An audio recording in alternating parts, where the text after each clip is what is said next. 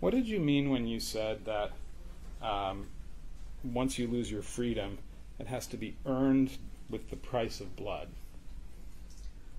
Well, once I, I've always said I'm against violence, and I've always said I never want to see a war in this country.